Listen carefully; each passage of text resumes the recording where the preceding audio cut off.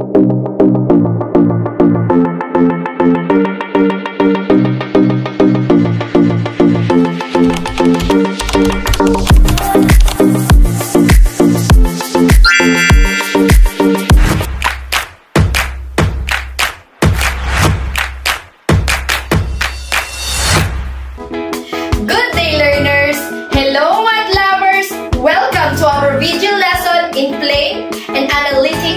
trigonometry.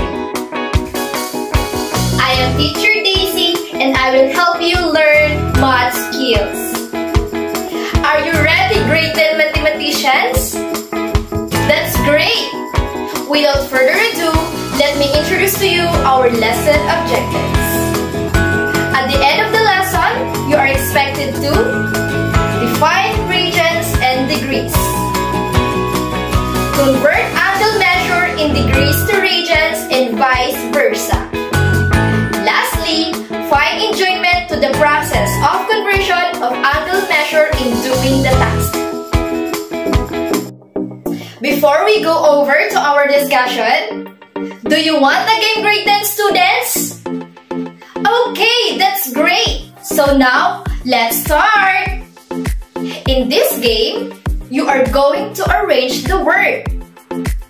Do you want it? Okay, let's start! Take note, you have 10 seconds to guess the word.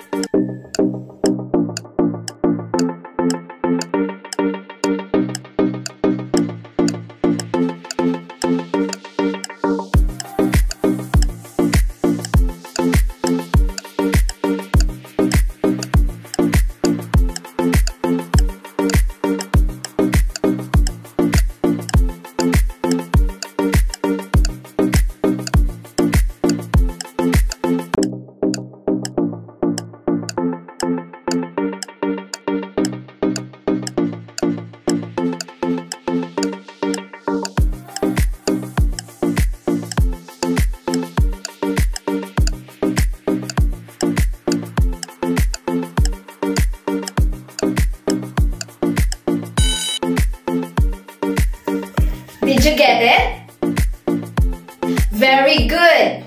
Can you guess our topic for today? Based on the game? That's great! So what is our topic for today? Okay, so convert angle measures in radians to degrees and vice versa. So now let us define what is radian. A radian is the angle made at the center of a circle by an arc equal in length to the radius.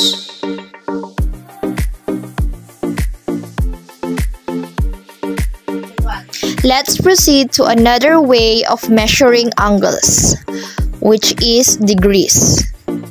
Let's define what is degrees. Degrees denoted by the symbol in 1 degree is equivalent to a rotation of 1 over 360 of 1 revolution. These are the formula on how to convert between radians and degrees. To convert degrees to radians, multiply degrees by pi over 180 degrees.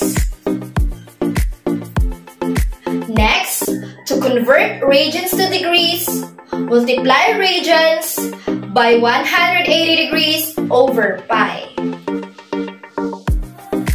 Okay, let's have an example. Example number 1. Convert 90 degrees to radians. How to do that? To convert from degrees to radians, we multiply the number of degrees by pi over 180. First, write down radians is equal to degrees times pi over 180. Substitute the value of the given degrees, which is 90, then multiply by pi over 180. Next, 90 degrees times pi divided by 180. In order to get the answer, you must think a number that can divide both sides. So in 90 pi over 180 degrees, you need to divide both sides by 90 degrees. So the answer is pi over 2. Next example. Example number 2. Convert pi over 6 into degrees.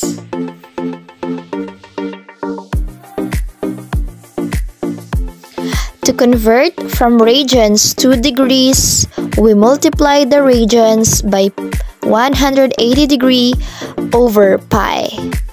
So now, the given is pi over 6 you multiply by 180 over pi.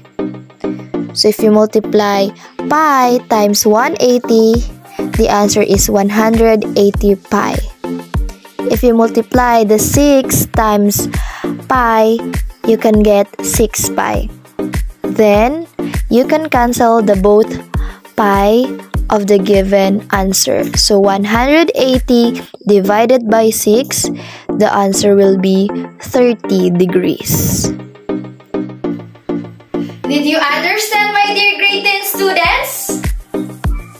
Okay, that's great. So now, let's have an activity.